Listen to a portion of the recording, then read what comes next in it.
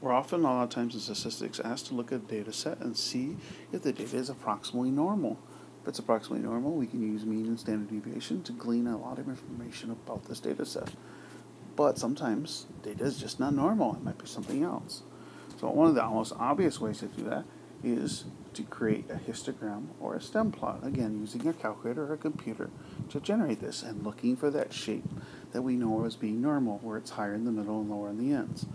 However, sometimes you have a small data set where even if you look at the graph, you're not exactly sure the data is normal or not because you have such limited data.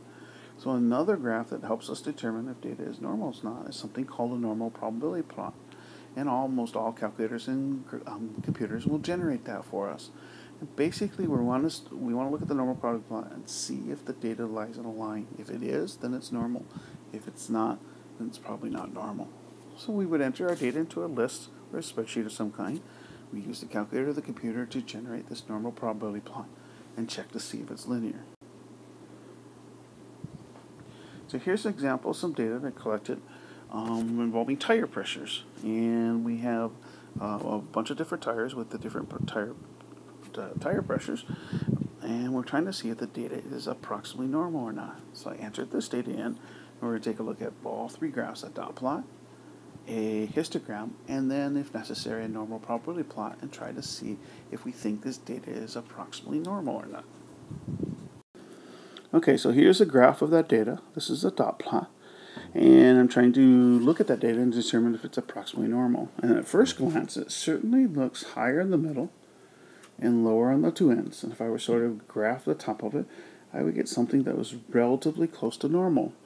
But I would be a little bit suspicious of this because there seems to be two different clusters of data over here and over here. And there's a big gap in there that's kind of raised my suspicions here. I'm not sure exactly what that is. If I had to gather more data and that data kind of filled in the space, I would probably go with no pro- approximately normal, no problem. But without with this limited data, I'd be saying, well, maybe there's something else going on here. So I need to take a look at some more graphs. So here's a histogram of that same data, but in reality I don't see much different here. Yes, it's higher in the middle and lower on the ends, just like I saw on the dot plot, and I can sort of connect with something that's approximately normal. But again, because there's this cluster of sample data here between 22 and 24, and another cluster of sample data between 28 and 32, my suspicions are aroused. I'm thinking maybe this is not normal. Maybe this is something else.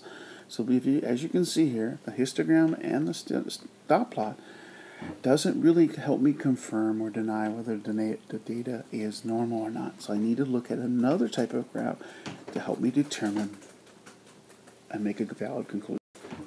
This is a normal probability plot. This is data uh, graph that is generated by the Nspire, or just about any computer or calculator will do this.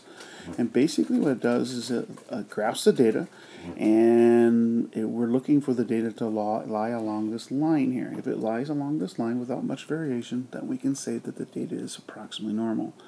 But as you look here, this data doesn't really lie along the line. It goes above the curve, then it goes below the curve, then it goes a little bit above again. So this is actually more of a curve than it is a line. So that means that data is not normal. It is something else. It actually turns out that this data is bimodal. It actually has two centers over there on the stem plot in the low 20s and then in the mid 20s.